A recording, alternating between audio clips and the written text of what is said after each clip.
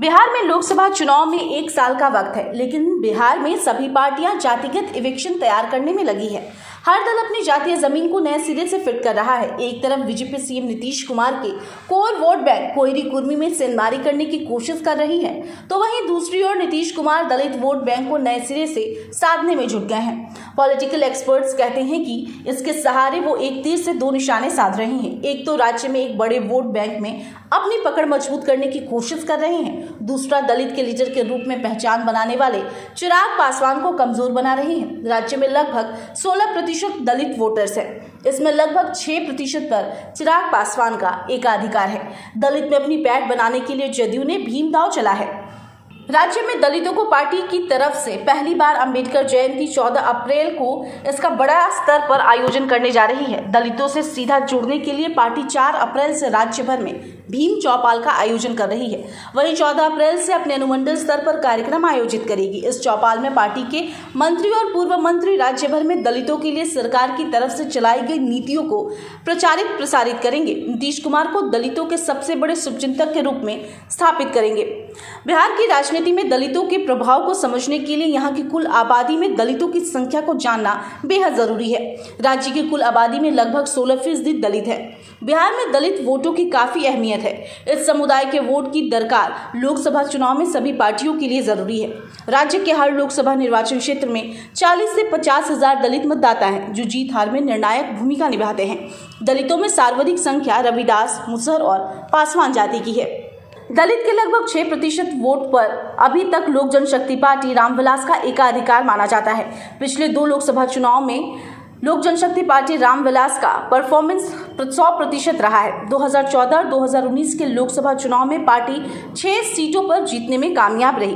वहीं बात करें विधानसभा चुनाव की तो 2015 विधानसभा चुनाव में औसतन पाँच प्रतिशत से ज़्यादा वोट मिले हैं। इस वोट को एलजेपी के संस्थापक रामविलास पासवान के परंपरागत वोट माने जाते हैं।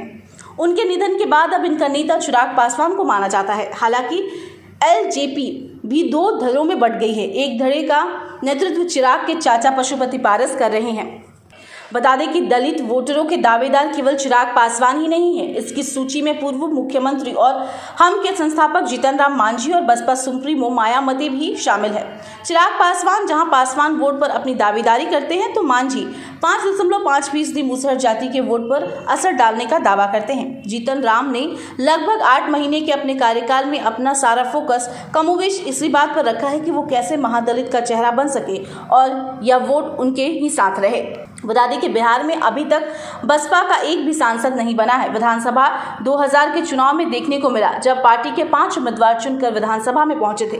लेकिन 2010 व 15 के विधानसभा चुनाव में पार्टी का खाता भी नहीं खुला है। 2020 में एक उम्मीदवार जीते, लेकिन बाद में वे जदयू में शामिल हो गए। बिहार के उत्तर प्रदेश से लगने वाले लोकसभा क्षेत्र में बसपा का असर है। जिन क्षेत्रों में बसपा का असर दिखाई देता है, उनमें मुख्य रूप से कैमूर, बक्सर, सासाराम, बेतिया, गोपालगंज आदि शामिल है।